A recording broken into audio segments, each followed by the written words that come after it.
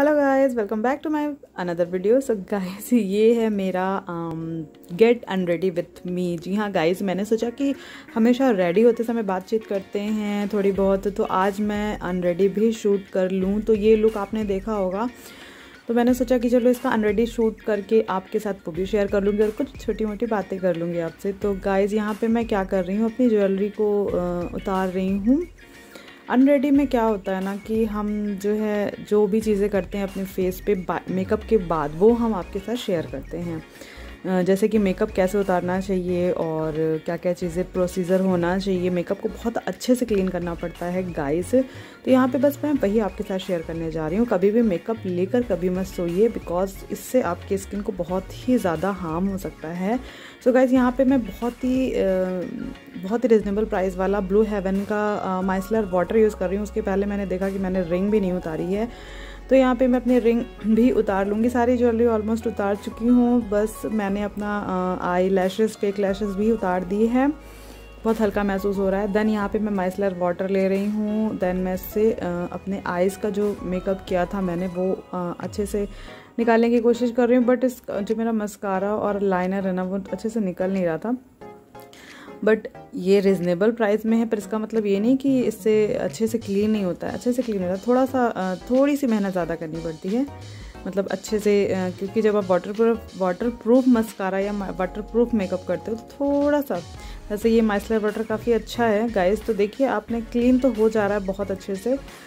बहुत अच्छे से बट मुझे क्या प्रॉब्लम होती है ना गाइस बस सिर्फ़ इतनी सी प्रॉब्लम जो लोअर वाटर लाइन होती है उसमें थोड़ा सा मेरा काजल वगैरह थोड़ा सा रह जाता है दैट्स इट देन यहाँ पे मैं अपने लिपस्टिक को भी क्लीन कर लूँगी।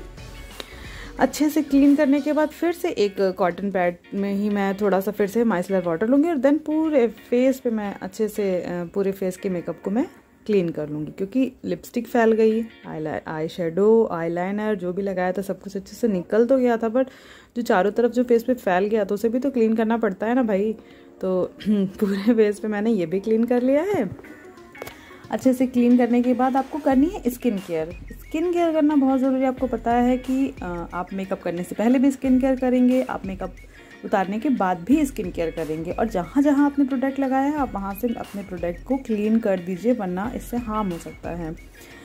तो गाइज़ यहाँ पे मैं ले रही हूँ गुड वाइफ्स का रोज़ हिप फेस वॉश बहुत अच्छा वाला फेस वॉश है रिजनेबल प्राइस में आता है और अच्छा है, अच्छे से क्लीन हो जाता है फेस आपका।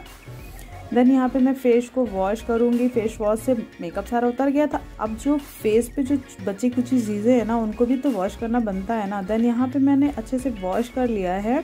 पानी के साथ। देन यहाँ पे अपने फेस को पैड ड्राई कर रही हूँ गाइस देन अब मैं क्या करूँगी? जो भी रूटीन होता है, आप जो भी फॉलो करते हो, वो आप कर सकते हो. देन यहाँ पे मैं ले रही हूँ वाओ का विटामिन सी टोनर काफ़ी अच्छा मिस्ट है ये, काफ़ी अच्छा टोनर है. मैं इसको भी काफ़ी टाइम से यूज़ कर रही हूँ. इससे पहले भी मैंने आपके साथ इसको शेयर किया है. काफ़ी अच्छा वाला टोनर आप इसको यूज़ कर सकते हैं. बालों में जो जूड़ा बनाते हैं ना, उससे बहुत प्रॉब्लम होती है मुझे। थोड़ा दर्द होने लगता है तो मैंने सोचा कि इसे भी ओपन कर ही देते हैं।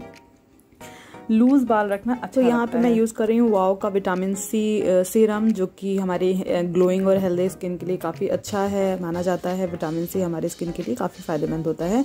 तो guys vitamin C night skin care में ही आप शामिल करें तो ज़्यादा बेस्ट होगा। डायरेक्टली धूप में निकलते वक्त आपको विटामिन सी कोई भी चीज़ प्रोडक्ट नहीं यूज़ करना है बिकॉज़ उससे आपकी स्किन पर भी हार्म हो सकता है आपकी स्किन डल हो सकती है।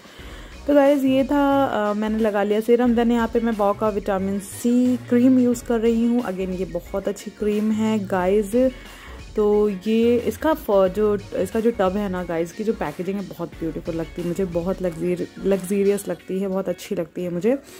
तो गाइज़ ये था मेरा स्किन केयर रूट सारे प्रोडक्ट के लिंक आपको डिस्क्रिप्शन बॉक्स में मिल जाएँगे। आई होप आपको मेरा ये वीडियो पसंद आया हो। Get and ready with me so guys चलिए मिलते हैं नेक्स्ट वीडियो में। चैनल को सब्सक्राइब कर दीजिएगा। वीडियो को लाइक करिएगा शेयर करना बिल्कुल मत भूलिएगा, क्योंकि सब कुछ फ्री है। ओके फ्रेंड मिलते हैं नेक्स्ट वीडियो में। Bye see you take care